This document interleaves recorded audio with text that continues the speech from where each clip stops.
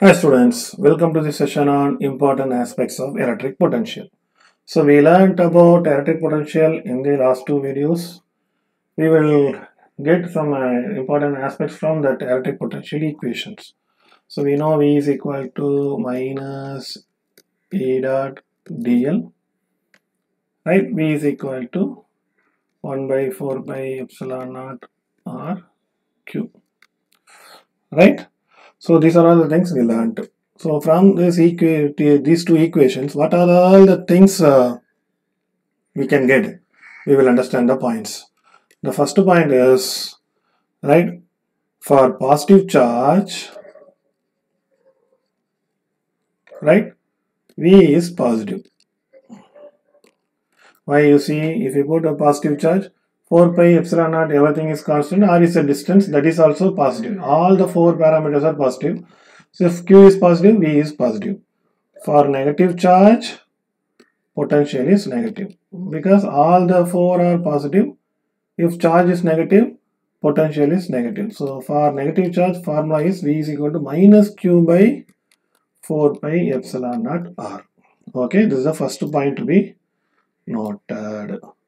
Second point, it is easy to work with what? Potential than electric field, especially when dealing with motion of subject, uh, motion of objects. Right here we are moving the what charge. So it is easy to deal with uh, potential than electric field. This is the second point to be noted because electric field is a vector. It's a scalar. So scalar is easy to work with. Next point is very very important point for positive charge. So we know from this equation for positive charge when R increases potential decreases right when R uh, where is R here R when R increases potential will decrease right similarly for negative charge when R increases here you see when R increases potential will sorry um, potential will increase right? So that is very very important conclusion why? So we assume uh, v is equal to minus kq by r right? If r is equal to 2 means it is minus 1 by 2 kq if r is equal to 4 means minus 1 by 4 kq right? So which is big value? It is minus 0.25 it is minus 0.5 minus 0.25 is big value. So when r increases uh, right? Please remember minus 0.25 is greater than minus 0.5 right? When r increases potential increases for negative charge. This is very important point. We have to use this very soon now. Please remember this point. Okay next fourth one right? Positive charge moves from region of higher potential to region of lower potential right? Negative charge moves from region of uh, lower potential to higher potential right? So this is another important point to be noted right? Let me explain this with some example. We have to remember. Okay? For example let us assume that uh, we are having one charge. This is a source right? I want to move this is okay uh, this is generating i want to find a potential at point p. So let us assume this is point p this is point q this point r right? Let us assume the potential at point p is vp here vq here vr this is a positive source charge right? So here you see we know that for positive charge when distance increases potential decrease right? So this is the least potential this is somewhat greater this is the greatest. So v must be greater than vp must be greater than vq greater than vr right? Suppose i want to move one charge which is here. Let us assume this is q dash right? In which direction it will move? It will positive charge will move from region of uh, lower potential to higher potential. So it's here. It is high it is low it is lowest. So it cannot go from left to left side because it compared to this point this point is having more potential. This is high potential this is low because distance increases so it is going from region of higher potential to lower. So when you go to right hand side only potential will decrease. So it will go in this direction. It will move in this direction right? So potential will be decreasing in this direction decreasing v. So your charge will move right hand side okay? Let us see some other example. For example this one. Let us assume we are having a minus q here. This is the source charge right? So minus q. Same point p q r right? Let us assume this is vp this is uh, vq this is vr right? It is negative charge. We know that when distance increases from the negative charge the potential will increase. You see this point. When distance increases potential will also increase so who will be having maximum potential in this VR will be having maximum potential then VQ then VP because when distance increases potential will increase clear so you see that so suppose I want to keep, uh, I want, I have one charge here. Let us keep uh, my charge in this location. Okay. It, let it be positive, right? So, okay, positive charge I keep Q dash. Suppose I want to move this charge, positive charge will move from region of higher potential to lower potential. So, potential is decreasing from here to here in this direction because it is highest, it is the lowest. So where our charge will move, it is it will move in this direction. Right? Because positive charge move from region of higher potential to lower potential. Right? So you see one more uh, thing is it is minus negative charge. Negative charge means closer to that there will be more negative. If you move away it will be more positive. So it should be least. It should be more. Yes or no? The simple logic is also correct. Right? Similarly, for positive charge, nearer to charge, there will be more positivity. When you move away, it is reducing. So, here it will be high potential, here it will be low potential. For negative charge, everywhere it is close to negative, negative, negative, negative, right, right? So it will be least potential. When you move away, it will be more potential.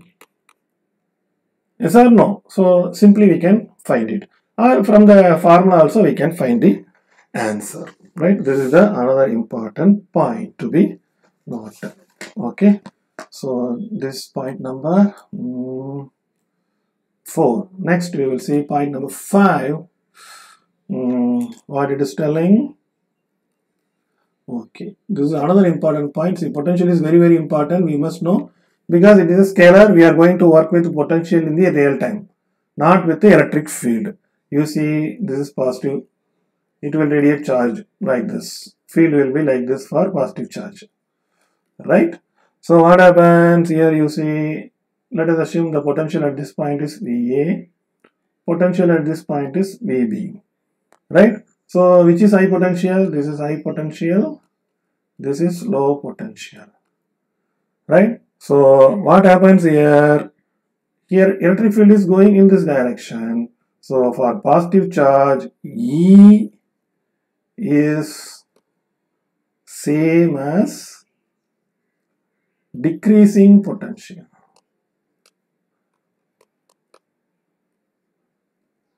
Right, is going or same as instead of that you can say going along electric field goes along decreasing potential right? Okay for uh, for negative charge let us take negative charge. Right here here. Oh, sorry a negative charge will rate for electric field lines go inside right? So go inside go inside what is potential here? Here higher potential. Yes sir oh sorry. Mm, control z. Right. Here it is. Closer to that least away maximum. We know for negative charge right? Right? So least potential. Clear now? So again you see electric field lines goes along the direction of decreasing potential, right? So that we have to remember. Clear? So next thing we have to know is uh, what I want to say is uh, another important point E dot dl about E dot dl. Hmm, okay, we know uh, V is equal to minus E dot dl, right? So suppose if from one point to another point we know from R to P, this is what uh, we know about uh, electric potential, right? Suppose if it is a closed path, R to P means we are moving from point R to point P. Suppose it becomes a closed path right closed path means what it starts from r here and again come back to the r only so what happens? The integral becomes closed integral right? So closed integral means v is equal to minus no need to r to p simply it is closed. Starting and end point are same. V is equal to minus adl right?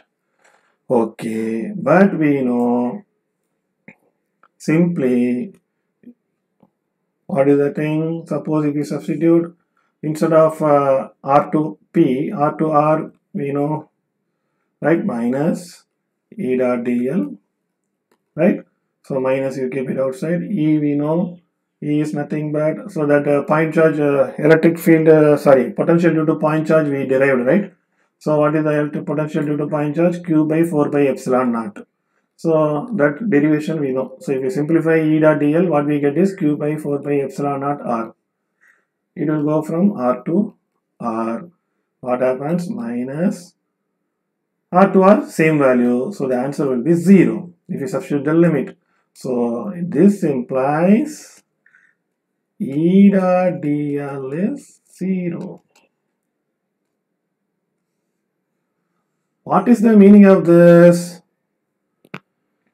What's the meaning? If electric field is having a line like this, if electric field lines, if you make it closer, the answer is 0. That means it will not close.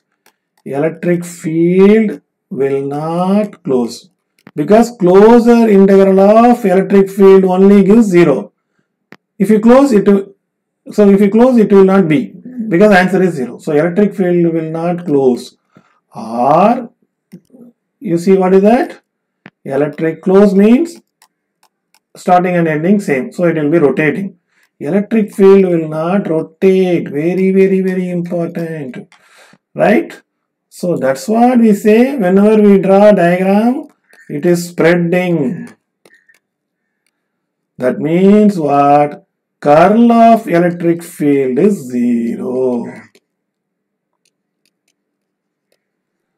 Okay or electric field will not rotate. That means what? It will diverge. That's what we study about Gauss law. What is that? Del dot d is equal to rho v. Sorry del dot e is equal to rho v by epsilon. What is del dot e? Del is del dot means divergence. Divergence of electric field. Not zero it is rotation of electric field is zero. This is very, very, very important. Rotation. This is rotation. If you rotate electric field, the answer is zero. Rotation of electric field is equal to zero. That's why whenever we draw electric field lines, we will spread it, diverge. Diverge means spread. Right? For negative charge, again it is spreading like this. But magnetic field will rotate, we know that. Right? It will start from north to south. It is rotating field, magnetic field. H will not. So, this is very, very important conclusion. Electric field will not rotate or curl of electric field is zero. Let us see that we know that E dot dl is equal to zero. If I apply Stokes theorem, it relates uh, line and uh, surface integral if you are having any doubt see my video on Stokes theorem. So it is line integral. It relates surface and closed line. How? Del dot, uh, sorry, del cross E ds dot ds is equal to surface integral. Right? It relates line and, sorry, surface and closed line. So E closed line. This is what Stokes theorem. So instead of E dot dl, I can write del cross E ds is equal to 0. This implies del cross E dot ds is equal to 0. That means this implies del cross E must be 0. We know del cross E is nothing but curl of E. Del dot means divergence. Del cross E means curl of E. What is that curl of E? Answer is 0. That means curl means what? Rotation. Rotation of E is equal to 0. That means what? Electric field will not rotate. Again. Electric field will not rotate.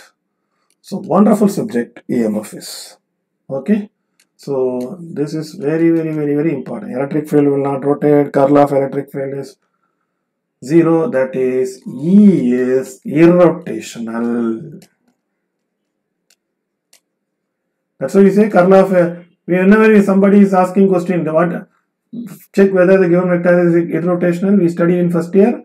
Del cross E del cross uh, something we find equal to 0 that means it will not rotate. Not rotate means irrotational.